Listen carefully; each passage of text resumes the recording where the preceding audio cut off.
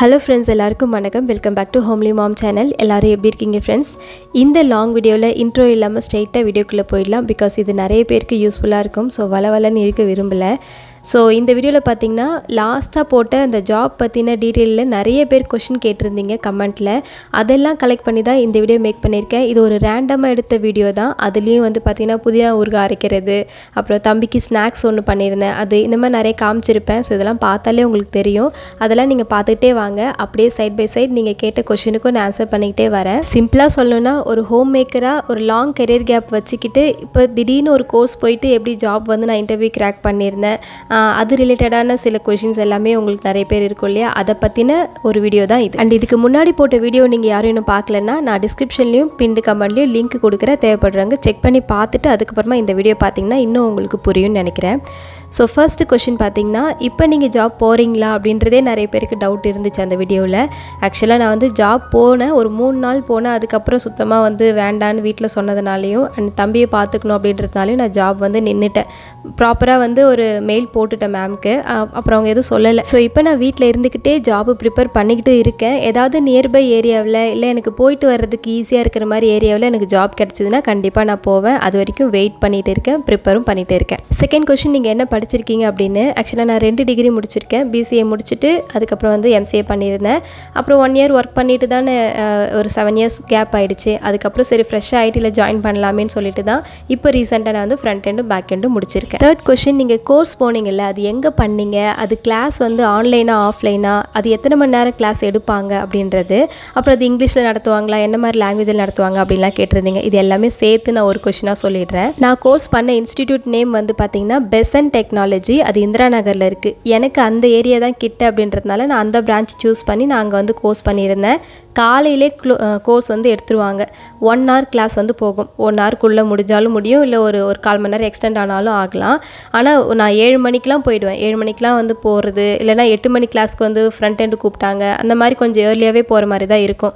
Because அங்கே class எடுக்கிறவங்க எல்லாருமே வந்து பார்த்திங்கன்னா ப்ரொஃபஷ்னலாக இருப்பாங்க. ப்ரொஃபஷ்னலாக இருக்கிறவங்க தான். நமக்கு கோர்ஸ் எடுத்து முடிச்சுட்டு அதுக்கப்புறமா அவங்க வந்து வேலைக்கு போகிறவங்களா இருப்பாங்க. எனக்கு பைத்தான் கிளாஸ்லாம் எடுத்தவர் பார்த்தீங்கன்னா ஃப்ளிப்கார்ட்டில் ஒர்க் பண்ணிகிட்டு இருக்காங்க. ஸோ நல்லா சூப்பராக நடத்துவாங்க. லாங்குவேஜ் வைஸ் பார்த்தீங்கன்னா அவங்க காமனாக எல்லாருக்கும் புரியணும் அப்படின்றதுக்காக இங்கிலீஷில் தான் கிளாஸ் வந்து போகும். உங்களுக்கு அங்கே வந்து டாபிக் புரியல இல்லை அவங்க நடத்தினது வந்து புரியல அப்படின்னா அங்கேயே டவுட் கேட்டுக்கலாம் கிளியர் பண்ணுவாங்க. அதுவும் புரியல அப்படின்னா நீங்கள் யூடியூப்பில் வந்து அந்த டாபிக் போட்டு சர்ச் பண்ணி உங்களோட லாங்குவேஜில் அந்த கான்செப்டை ஈஸியாக நீங்கள் புரிஞ்சுக்கலாம். ஸோ அப்புறம் கிளாஸ் வந்து பார்த்தீங்கன்னா எனக்கு வந்து ஆஃப்லைன் கிளாஸ் தான். டெய்லி கிளாஸ் போயிட்டு வர மாதிரி தான் இருக்கும். நான் வந்து வீக் டேஸ் பேட்ச் தான் எடுத்துருந்தேன். வீக்கெண்ட் இல்லை. வீக்கெண்ட் வேணும்னாலும் அவங்களும் அந்த மாதிரி எடுத்துக்கலாம். நான் டெய்லி வந்து மண்டே டு ஃப்ரைடே வரைக்கும் போயிட்டு போய் போயிட்டு வருவேன் ஸ்கூட்டியில் இருக்கிறதுனால போயிட்டு வந்துடுவேன் ஆஃப்லைன் கிளாஸ்லாம் அவங்க எடுக்கிறது இல்லை ஏதாச்சும் ஒரு கிளாஸ் வந்து எடுக்கணும் அன்னைக்கு லீவ் இருக்குது அப்படின்னா மட்டும் முன்னாடியே இன்ஃபார்ம் பண்ணிவிடுவாங்க இந்த மாதிரி எனக்கு லீவ் இருக்குது எனக்கு வந்து ஒர்க் இருக்குது அதனால் என்னால் வந்து கிளாஸ் எடுக்க முடியாது. நீங்கள் வந்து எல்லாருமே வந்து இன்றைக்கி ஜூம் கிளாஸ் அட்டன் பண்ணிவிடுங்க அதில் நான் உங்களுக்கு நடத்திடுறேன் அப்படின்னு சொல்லிவிடுவாங்க ஸோ அப்போ மட்டும்தான் வந்து ஆன்லைனில் போகிற மாதிரி இருக்கும். மற்றபடி ரெகுலராக போயிட்டு வர மாதிரி தான் இருக்கும். ஃபோர்த்து கொஷின் நம்ம அங்கே கோர்ஸ் முடிச்சதுக்கப்புறம் கண்டிப்பாக சர்டிஃபிகேட் கொடுப்பாங்களா? அவங்களே கண்டிப்பாக ஹண்ட்ரட் பர்சன்ட் ஜாப் அஷூரன்ஸ் கொடுப்பாங்களான்னு கேட்டிருந்தீங்க.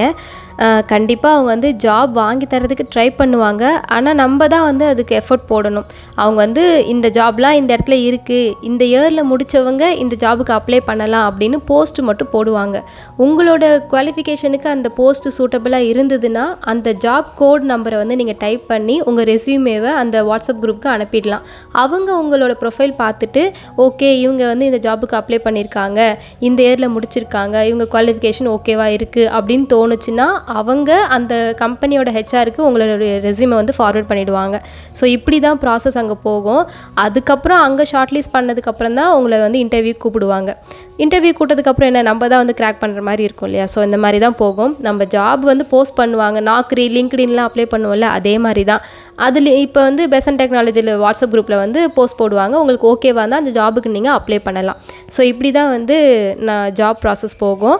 சர்டிஃபிகேட் கண்டிப்பாக கொடுப்பாங்க. நம்ம வந்து கோர்ஸ் முடித்த உடனே வந்து அங்கே ரிசப்ஷனில் இருப்பாங்க. அவங்கக்கிட்ட போயிட்டு இந்த மாதிரி நாங்கள் கோர்ஸ் முடிச்சுட்டேன் எனக்கு சர்டிஃபிகேட் வேணும் அப்படின்னு கேட்டேன்னா அப்போவே ஆன் த ஸ்பாட்லேயே ஒரு டென் மினிட்ஸில் வந்து நமக்கு கோர்ஸ் சர்டிஃபிகேட் செஞ்சு கொடுத்துருவாங்க. ஃபிஃப்த்து கொஷின் இன்டர்வியூ பற்றி சொல்லுங்கள் எத்தனை ரவுண்டு இன்டர்வியூ இருந்தது? ஃபியர் இல்லாமல் எப்படி இன்டர்வியூ கிராக் பண்ணுறது இப்படிலாம் கேட்டிருந்தீங்க.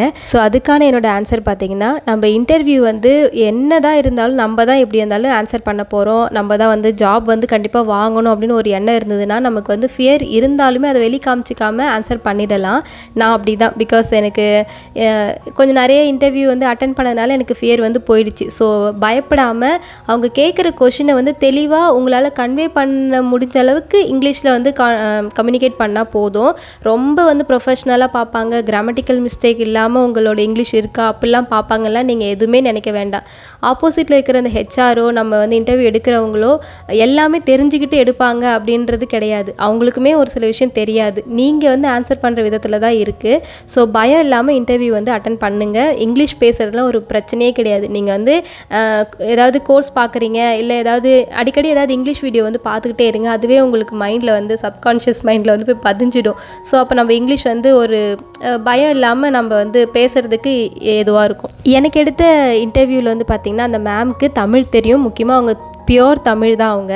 ஆனால் இங்கிலீஷில் தான் கொஷின் கேட்டாங்க. நான் இங்கிலீஷில் தான் ஆன்சர் பண்ணேன். கன்னடாலாம் தெரியுமான்னு எனக்கு தெரியல. ஸோ என் காமனாக இங்கிலீஷில் கேட்குறதுனால நம் என்னை என்ன எனக்கு கேட்ட கொஷின் எல்லாத்துக்கும் நான் இங்கிலீஷ்லேயே ஆன்சர் பண்ணிட்டேன். அப்புறம் அங்கே ஜாப் அந்த மூணு நாள் போனேன் பார்த்தீங்களா அப்போ தான் தெரிஞ்சுது அந்த மேம் வந்து எல்லா எம்ப்ளாய்கிட்டையுமே வந்து ஒரு சில தமிழ் தெரிஞ்ச எம்ப்ளாய்கிட்டலாம் தமிழில் தான் பேசினாங்க.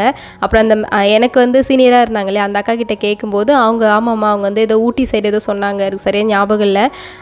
தமிழ் நல்லாவே பேசுவாங்க. அவங்க சுத்தமான தமிழ் தான் அப்படின்னு அப்புறமா பேசினாங்க. ஸோ எல்லாருக்குமே லாங்குவேஜ் தெரியும். ஆனால் இன்டர்வியூவில் வந்து பார்த்திங்கன்னா இங்கிலீஷில் தான் கேட்பாங்க. நம்ம இங்கிலீஷில் தான் ஆன்சர் பண்ணுற மாதிரி இருக்கும். ஆனால் அதை நினச்சி பயப்படாதீங்க. டெக்னிக்கலாக என்ன கேட்குறாங்களோ அதுக்கு ஆன்சர் பண்ணுற அளவுக்கு இங்கிலீஷ் தெரிஞ்சால் போதும். ஸோ பயப்படவே வேண்டாம். டெல் அபவுட் யுவர் செல்ஃப் கேட்டாங்கன்னா அதுக்கேற்ற மாதிரி ப்ரிப்பேர் பண்ணிக்கிட்டு போங்க. அவ்வளோதான் மோஸ்ட்டாக இருக்கும். வேறு எதுவும் அந்த அளவுக்கு கேட்க மாட்டாங்க. எனக்கு ஆப்டிலாம் வைக்கல. ஸ்ட்ரெயிட்டாக வந்து டெக்னிக்கல் ரவுண்ட் மாதிரி கேட்டாங்க. அதுக்கப்புறமா ஹெச்ஆர் ரவுண்டில் போயிட்டு என்னோடய என்னோட அபவுட் மை செல்ஃபு இந்த மாதிரி நிறைய போச்சு. அவ்வளோதான் நானே வேறு ஆப்டி இருந்ததுன்னா கண்டிப்பாக நான் ஃபஸ்ட் ரவுண்ட்லேயே ஊற்றிட்டு வந்துடுவேன் அதனால் எனக்கு நல்ல வேலை ஆப்டி எதுவும் வைக்கல. ரெண்டு ரவுண்ட் மட்டும்தான் இருந்துச்சு. இன்டர்வியூ கிராக் பண்ணிவிட்டு அப்புறம் வந்து ஜாப் ஆஃபரும் கொடுத்துட்டாங்க. அண்ட் லாஸ்ட்டாக போட்ட லாங் வீடியோவில் மோஸ்ட்டாக நிறைய பேர் அடிக்கடி கேட்ட கொஷின் தான் இது எல்லாமே. முடிஞ்ச அளவுக்கு நான் ஆன்சர் பண்ணிட்டேன்னு நினைக்கிறேன்.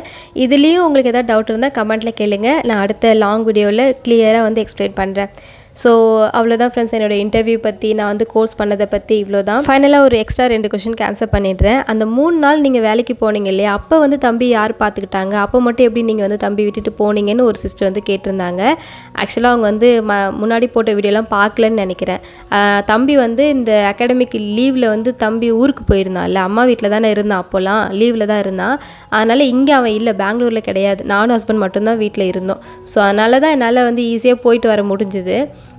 போயிட்டு வந்த அந்த மூணு நாளில் என்னோடய ஃபேஸு நான் என்ன என்ன நான் எப்படி வந்து ஆக்டிவாக இருக்கேனா இல்லையா இதெல்லாம் வந்து அசுத்தப்பா பார்த்ததுனால இல்லை நீ வந்து ரொம்ப டயர்ட் ஆகிடுற செட் ஆகாது உனக்கு. அவ்வளோ போ போகிறதுக்கு ரெண்டு மணி நேரம் வரதுக்கு ரெண்டு மணி நேரம். அது எப்படி உனக்கு வந்து செட் ஆகும்? வீட்டுக்கு வந்து நிறைய வேலைலாம் பார்க்கணும். அதனால் வேண்டாம். நீ நின்றுடு கிட்ட ஏதாவது ஏரியா இருந்தால் அப்போ உனக்கு ஜாப் கிடைச்சா போ அப்படின்னு சொல்லிட்டாங்க.